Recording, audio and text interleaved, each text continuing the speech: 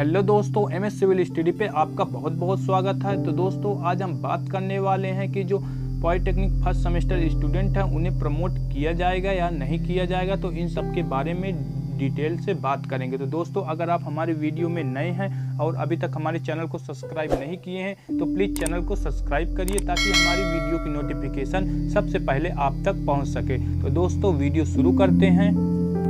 प्रदेश के विश्वविद्यालयों और महाविद्यालयों में प्रथम वर्ष के स्टूडेंट को बिना परीक्षा के प्रमोट किया जाएगा। यानी कि जो हमारे प्रथम वर्ष के स्टूडेंट हैं या फ़र्स्ट सेमेस्टर के स्टूडेंट हैं, उनको बिना परीक्षा के पास कर दिया जाएगा। तो यहाँ पे सभी स्टूडेंट के लिए काफ़ी खुशखबरी की बात है। अगर वहीं पे हम बात करते हैं द्वितीय वर्ष और अंतिम वर्ष के स्टूडेंट के लिए तो उनका उनको किसी प्रकार का प्रमोट नहीं किया जाएगा, उनको पास नहीं किया जाएगा और उनका एग्ज़ाम 15 अगस्त से ऑनलाइन स्टार्ट कर दिया जाएगा, जो कि डेढ़ घंटे का एग्ज़ाम होगा। तो दोस्तों, जैसे कि ये सेकेंड ईयर और फाइनल ईयर वालों के लिए काफ़ी कहीं ना कहीं दुख की बात है, क्योंकि कोरोना की महामारी के चलते जो पॉलिटेक्निक के क्लासेस हैं, वो स्टार्ट नहीं हैं और किसी स्टूडेंट ने अभी तक कोई पढ़ाई नहीं की हुई है। ऐसे में एग्ज़ाम लग जाना काफ़ी चिंता की बात है। तो यहाँ पे दिया हुआ है कि जो हमारा मतलब fourth semester and six semester का एग्ज़ाम होगा, वो पंद्रह अगस्त से स्टार्ट हो जाएगा और इसका जो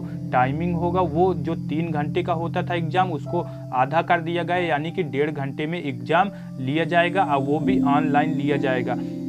और जल्द ही जो हमारा सम सेमेस्टर का एग्ज़ाम होगा, उसका जल्द ही रिज़ल्ट भी आ जाएगा और जो हमारा पॉलिटेक्निक इंट्रेंस एग्ज़ाम हो रहा है, जो नए स्टूडेंट आ रहे हैं, उनका 2021-22 जो नया सत्र है वह 13 सितंबर से स्टार्ट कर दिया जाएगा।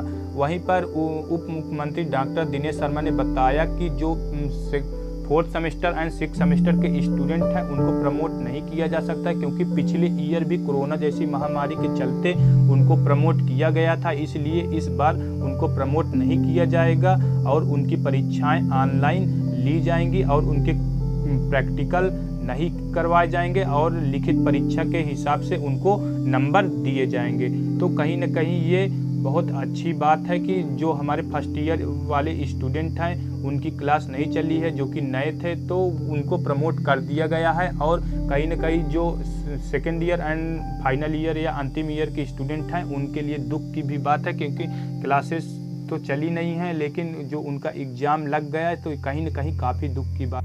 वहीं अगर हम नीचे आके बात करते हैं तो यहाँ पे लिखा हुआ है, परीक्षा की अवधि को तीन से घटाकर डेढ़ घंटे कर दिया गया, जैसे कि हमने ऊपर बता चुके हैं।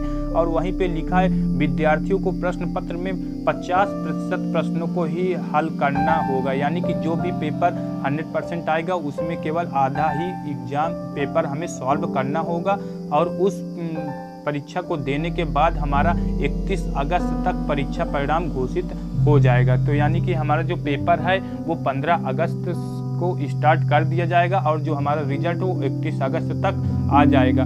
और जो हमारा नया सत्र स्टार्ट होगा, वो 13 सितंबर से हमारा नया सत्र स्टार्ट हो जाएगा। तो दोस्तों आप अपने घर पे अपनी एग्ज़ाम की तैयारी शुरू कर दीजिए ताकि आप अपना एग्ज़ाम में अच्छा परफॉर्मेंस कर सके। तो दोस्तों, अगर आपको ये वीडियो, ये ये जानकारी जान के अच्छा लगा हो तो प्लीज़ वीडियो को लाइक करो कमेंट करो एंड अपने दोस्तों के पास जल्द से जल्द शेयर करो। तो दोस्तों, मिलते हैं नेक्स्ट वीडियो पे। तब तक के लिए धन्यवाद। जय हिंद, वंदे मातरम।